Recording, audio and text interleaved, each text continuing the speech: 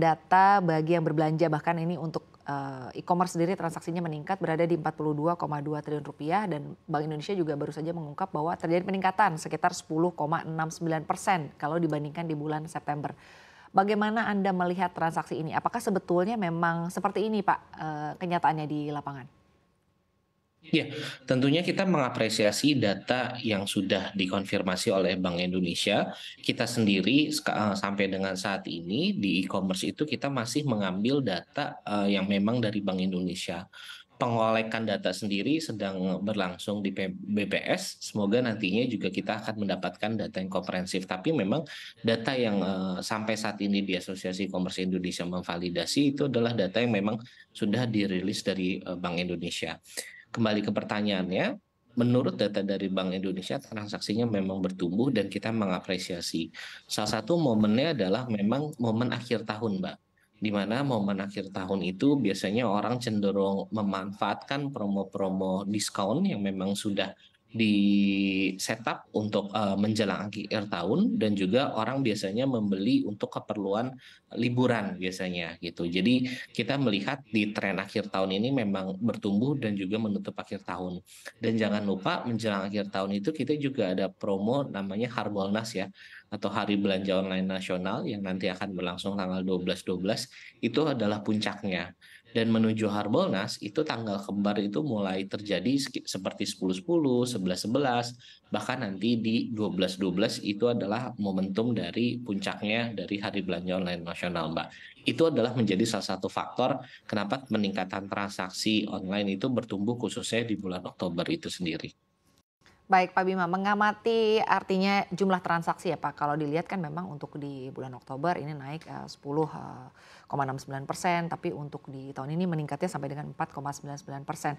Dan sebetulnya Pak kalau kita amati dari tahun ke tahun tanggal kembar atau promo-promo sebetulnya memang uh, sudah berlangsung begitu ya Pak. Artinya bukan baru di tahun ini saja. Anda melihatnya apa sebetulnya yang menjadi sentimen atau yang menyebabkan kenaikan signifikan ini bisa terjadi Pak Bima silakan. Ya, kenaikan ini promo tanggal kembar memang sudah terjadi eh, seperti tahun-tahun sebelumnya. Tetapi masyarakat itu sudah menjadi sebuah habit, Mbak. Bahkan mungkin dia kalau membeli gitu, oh tanggal kembar bentar lagi ya, kira-kira barang apa yang diincar ya. Nah, itu memang menjadi salah satu faktor yang diincar sebagai pembeli untuk memanfaatkan promo-promo diskon. Di satu sisi, kita melihat adalah pergerakan dari ekonomi nasional yang memang ketidakpastian tetapi ternyata masyarakat juga banyak yang masih spending khususnya spending di e-commerce. Behavior dari masyarakat yang kita transisi sebelumnya di pandemi dan endemi itu ternyata sebuah menjadi hybrid gitu yang tadinya dia berbelanja online aja sekarang tetapi juga bisa offline dan online saling berkesinambungan untuk bisa membantu eh, penjualan dari sebuah produk itu sendiri.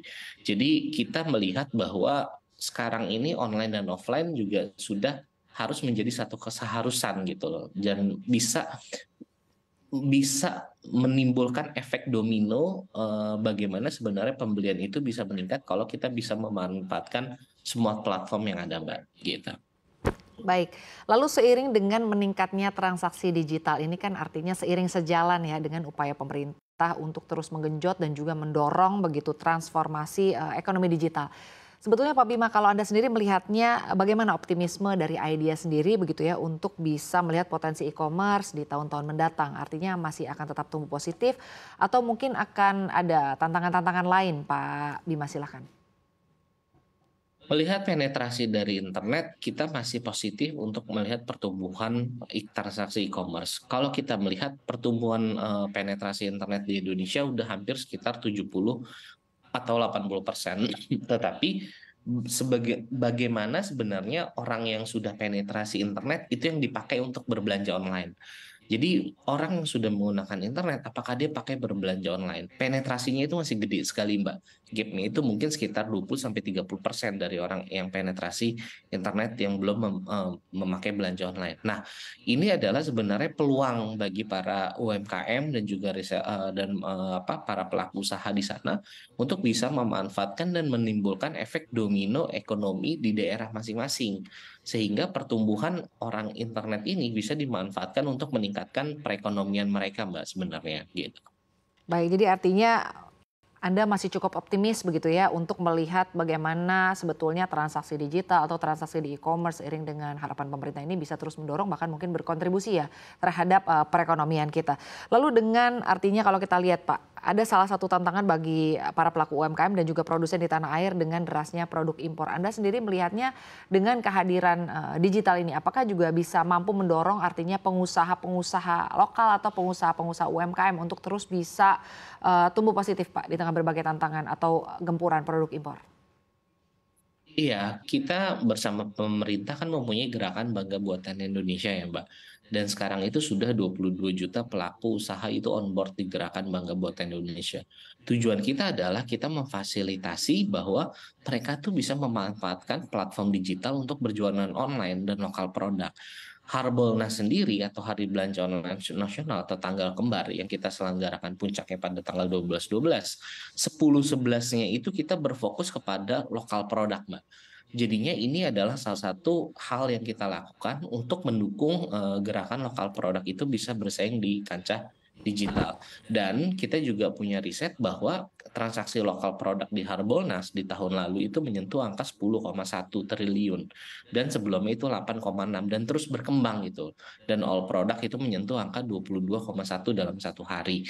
Jadinya kita berharap bahwa transaksi lokal produk juga bisa terus meningkat dan bahkan bisa uh, meningkatkan porsi pembelian dalam platform digital, Mbak. Baik, Pak Bima, mengamati kebijakan yang mungkin diluncurkan oleh pemerintah, Anda sendiri melihatnya apakah ini juga memberikan angin segar bagi pelaku usaha lokal atau UMKM atau mungkin memberikan pelindungan ya? Bagaimana UMKM dapat bisa terus uh, berkembang di tanah air? Mengingat kalau kita lihat memang gempuran barang impor, produk impor, apalagi harganya yang kalau kita lihat ya memang harga dasarnya saja sudah murah. Artinya UMKM kita ini akan head to head begitu dengan produk-produk impor. Anda melihatnya bagaimana pemerintah dalam menetapkan aturan selama ini? Apakah artinya cukup melindungi pelaku pelaku usaha lokal atau seperti apa? Ya, kalau saya melihatnya bahwa UKM itu juga harus mengcreate value. Bagaimana mereka bisa berkompetitif dan juga bisa bersaing dengan produk-produk yang notabene dari luar. Nah, kita bersama dengan pemerintah itu juga selalu memberikan uh, kurikulum dan pelajaran-pelajaran untuk UKM bagaimana dia bisa meningkatkan uh, eksistensi dan kapasitas bisnisnya di platform digital terkadang orang begitu masuk ke platform digital ingin mendapatkan hasil yang instan gitu ya. Tetapi uh, hasil itu juga harus dibangun dan dibangunnya memerlukan create value dan juga uh, branding dan uniqueness dari sebuah lokal produk itu sendiri. Kalau lokal produk itu sudah menemukan fit and marketnya bahkan di online dan online itu merupakan cara yang paling uh, mudah untuk membangun sebuah brand, Mbak. Karena dia nggak punya nggak perlu ongkos toko gitu ya, dia nggak perlu menyewa tempat gitu ya, dan cenderung uh, mereka tuh banyak brand-brand yang bermunculan yang saya temuin itu awal mulanya salesnya dari online. Tetapi begitu mereka ingin growth menjadi lebih eksponensial, mereka juga harus memanfaatkan market online.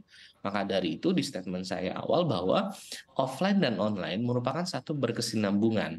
Kita tidak bisa mengandalkan salah satu market aja, tetapi kita memang sudah hybrid dan itu sudah memang zamannya, Mbak. Gitu.